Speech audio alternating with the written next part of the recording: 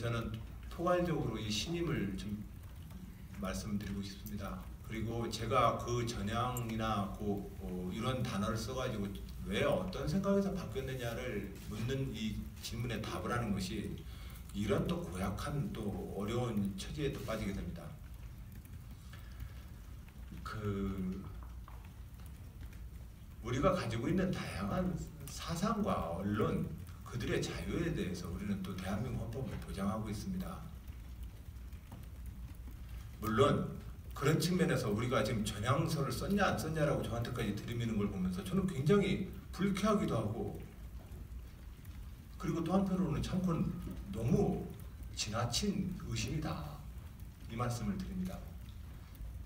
지금 현재를 보면 수령론에 입각해서 현재 3대에 걸치고 있는 저 국가 북한의 정당 체제와 권력 체제에 대해서 우리가 동의할 수 있겠습니까?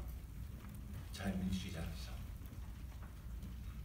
그런 측면에서 어, 그런 의심과 진, 지난 냉전 시대의 그런 불신은 좀 거두어 주십사 이 말씀을 드립니다. 네.